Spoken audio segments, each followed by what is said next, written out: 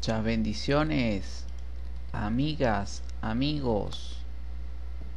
El día de hoy estamos compartiendo con todas y todos ustedes el horóscopo Escorpio en el amor del 20 al 27 de enero de 2017 para las naciones del mundo, marcado por la carta del azar que ves en pantalla, una carta muy importante, la carta de los enamorados y por supuesto la carta del mago. El mago es el espíritu que el día de hoy llega a traernos una información desde el mundo de los espíritus que está muy marcada para Escorpio. El mago, hoy con su sombrero mágico que siempre les hablo, ¿ves? Uniendo el infinito, es la señal del infinito. El mago el día de hoy nos viene a decir que él se presenta con mucho entusiasmo, como es típico, un espíritu de un mago, ¿ok? Mm, es un hombre, ¿ok? Pero con características de mago, ¿ok? Con características de ser pila, de resolver, ¿ok? Este espíritu se presenta, me extiende sus dos manos en luz, su séptimo chakra en luz, y me dice una serie de cuestiones, hay muchas montañas oscuras, pero antes de que él continúe hablando, yo debo decirles algunos aspectos astrológicos que están presentes esta semana, vamos a dejarlo que él se asiente un poquito aquí en el plano que llega, porque llega desde muy lejos a hablarnos, así que vamos a darle oportunidad que se acomode aquí en la sesión de tarot de Enrique. Aspecto astrológico del 20 al 27 de enero 2017, Sol en casa 3. Así como un tigre muestra su garra e intenta dominar, así tú intentarás mostrar toda tu fortaleza en el amor. Mercurio en casa 2 así como aquel que al caminar el sendero cae en el hueco, pero repentinamente se recupera para abrazar a su pareja. Luna en casa 2, salir juntos como pareja. A una noche de copas podrá conjugar con el brillo de las estrellas y la sonrisa de tu pareja. Ahora sí, llega el momento de hablar de las cartas, ya hablaron los cielos. Este, aquí se hace magia porque así como este sombrero que ves en pantalla del mago, de alguna manera mm, hay dos extremos, ¿no? Los cielos, el intermedio que es el nivel de los espíritus que siempre hablan aquí en el horóscopo de Enrique, porque aquí en el horóscopo de Enrique se les da oportunidad a los espíritus también de hablar. Miren el mago, qué bellísima carta, mi amigo. Mi amigo. Trae sus herramientas, mira su copa, su espada, su bastón, su estrella, una tremenda estrella ahí sobre la mesa y señalando a los cielos en señal de victoria. Qué belleza de carta. Dios mío, Ryder. Bueno, vienen las cartas a certificar la información, pero antes este espíritu tiene que hablar, tiene que decirnos algo muy importante.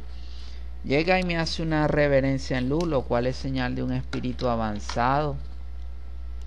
Abre sus manos, me muestra que él está como en un sendero donde hay unas montañas muy oscuras, ¿no?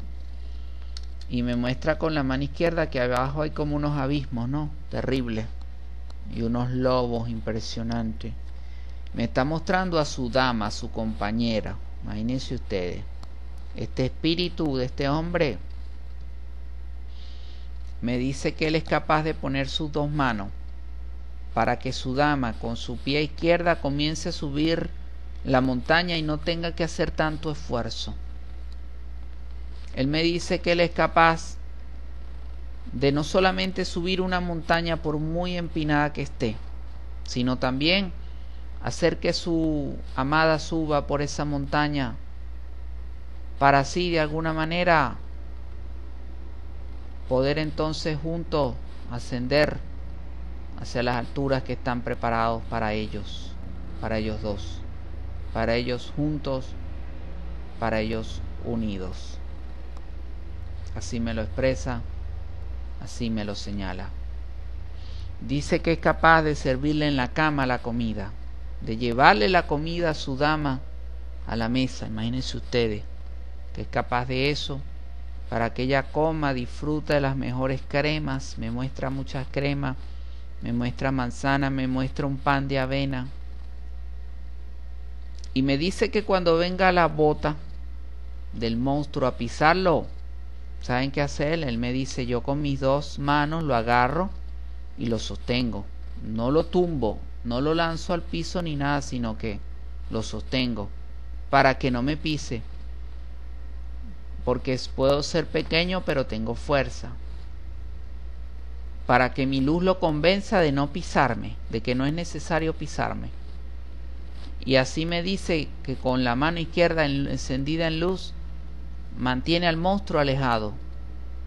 Hemos visto que en otro video este monstruo con esta bota en el mundo de los espíritus viene a personificar hoy en día esos trabajos en los cuales las personas va perdiendo el interés, la vida, la motivación, se va enfermando, ¿ok? Y el trabajo lo va minimizando, lo va aplastando. ¿Cuántas personas han sufrido esa situación que terminan inclusive con una enfermedad en la columna, en la espalda, situaciones de enfermedades que los dejan inclusive hasta discapacitados? Trabajar definitivamente honra al hombre, pero a veces tiene sus consecuencias bastante impactantes. El mago me dice todo, une sus manos en luz, enciende su séptimo chakra, me, ya me dio su comunicación en espíritu, me dice, me hace seña de que él desde el espíritu, nivel de espíritu, estará marcando la pauta para Escorpio en el amor del 20 al 27 de enero de 2017. Es su energía espiritual la que estará reinando. Ojo con eso. Oído al tambor. Ahora ya hablaron los espíritus, van a hablar los cielos. Dice así, ahí dice lo siguiente, así como aquella pareja que al sentir la estrella que brilla para ambos, deciden besarse una y otra vez. Wow. Juegan a besarse. Bailan juntos mientras sueñan con un futuro unidos, donde el arco iris y los puentes celestiales brillarán para ustedes. Así podrán sentir a plenitud su relación sentimental. En la intimidad, un cuarto decorado con cortinas blancas y una cama matrimonial espléndidamente tendida con sábanas blancas permitirá que la envoltura de luz de la estrella que brilla para ustedes descienda adecuadamente y haga brillar sus corazones mientras se abrazan y sus corazones laten unidos en un solo latido de intensidad. Tú como mujer tendrás la capacidad suficiente al salir de compra de seleccionar aquellas carnes y productos que les permitan cubrir sus necesidades nutricionales como pareja. De tal forma que al llegar al hogar tu delicadeza y el orden te permitirá poner todo en su justo lugar para así poder planificar adecuadamente para 15 días todo lo que podrán degustar con agrado en el hogar. Está claro, es uno de los horóscopos más hermosos que he hecho durante este mes. Uno de los horóscopos en el amor más espléndidos. Viene marcado de entrada ya escucharon mis amigas que echan carta, ya escucharon los cielos de entrada. Va a certificar la información la carta de los enamorados. Así como aquella pareja certificada por usted respetuosamente por los enamorados. Que al sentir la estrella que brilla para ambos, deciden besarse una y otra vez.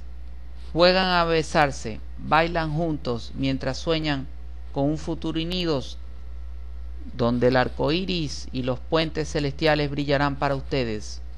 Así podrán sentir a plenitud su relación sentimental. En la intimidad, un cuarto decorado con cortinas blancas y una cama espléndidamente tendida.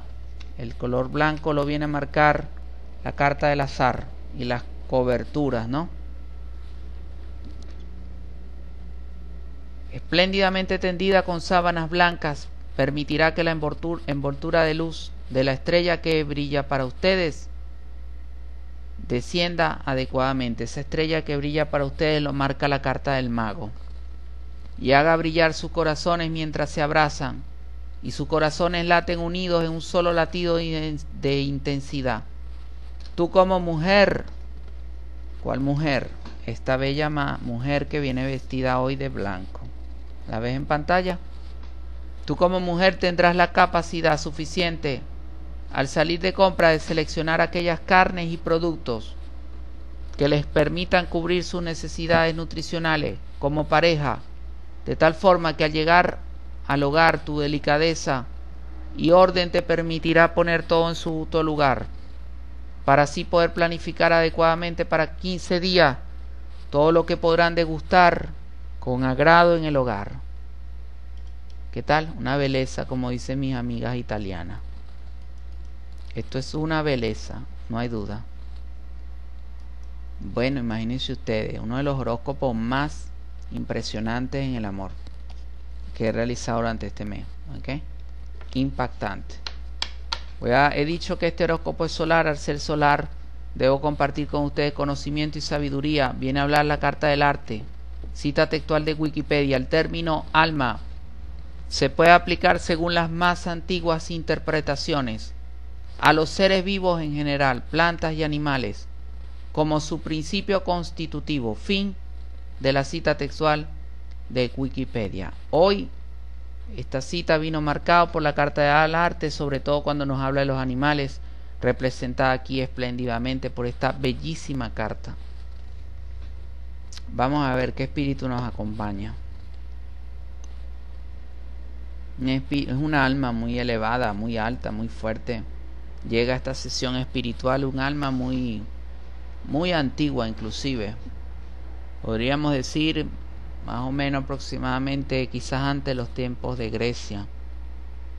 Me muestra una llama, está mostrando mucho una llama, su mano izquierda la alza y en su mano derecha está mostrando una especie de libro. Me dice, hola Enrique, enciende su séptimo chakra en luz en señal de que ella tenía, tiene permiso para bajar a esta sesión de tarot y hablar y expresarse, permiso de los cielos. Yo también le doy la bienvenida. Vamos a ver qué nos quiere decir. Dice que la vida es un camino que se va escribiendo con el pasar, ¿no? Del andar, del caminar. Con el pasar de la construcción de los rieles del ferrocarril se va haciendo el camino y a progresivamente así va brillando la estrella en los cielos que va acompañando a, la persona en el camino. La persona en el camino puede fallecer, puede simplemente hoy en día dice, puede echarse las cobijas al hombro y decir ya no más, ya basta, prefiero dejar de luchar, ya basta de luchar. Ella dice, pero mira, ¿por qué yo tengo mi mano encendida en luz? Con una antorcha encendida en luz. Me dice Enrique, te explico por qué. La antorcha encendida en luz significa ese impulso que viene del corazón, que va a hacer que por muy fuerte que sean las lanzas que vengan a atravesar el corazón, la persona inclusive tenga la capacidad para partir la lanza, caminar hasta donde sea necesario reflexionar, sentir el impulso reflexivo para qué hacer, saber qué hacer con esa lanza que tiene clavada en el corazón. Y una vez que sepa qué hacer con esa lanza que le han clavado en el corazón, tomar las acciones primeramente preventivas, de saber decir no para que no vuelva a ocurrir. Y en un segundo paso, sanar con luz. Sanar con luz significa no, no, no, no, no, no, no hacer acciones eh, seducidas por el odio, acciones seducidas por la venganza, acciones seducidas por la rabia, no. Sanar en luz significa recibir el mensaje de los ángeles para entender lo que se está viviendo, lo que está aconteciendo y cómo poder seguir avanzando. Me dice, me elevo, me elevo, es momento de elevarme. Momento de elevarme para ella significa la forma de decir que ya ella expresó lo que tenía que decir. Qué impactante. Wow. Bueno, Bien, amigas, amigos, si usted es niño índigo, es cristal o es intuitivo y durante el transcurso del video logró ver este espíritu marcado por la carta del arte, expréselo en la cajita de comentarios del video y aprovechelo. Aproveche su opinión y aproveche de suscribirse. Haga clic en el botón suscribirse de YouTube. Ahora bien, si usted, para usted fue un momento de fortaleza lo expresado por la carta de los enamorados o lo señalado por la carta del azar, también señálamelo en la cajita de comentarios del video. Pero si usted durante el transcurso del video logró ver este espíritu marcado por la carta del mago, hágamelo saber en la cajita de comentarios del video. Aproveche, haga clic en el botón de suscribirse para juntos seguir construyendo vínculos de luz. Recuerden, ya somos más de 5.600 suscriptores. Tenemos la esperanza y la promesa de los cielos de que seremos más de 10.000 suscriptores unidos por este vínculo de luz. Recuerden, este fue el horóscopo de Enrique. Estoy para apoyarlos desde www.welcomeme.blogspot.com. Muchas bendiciones a todos.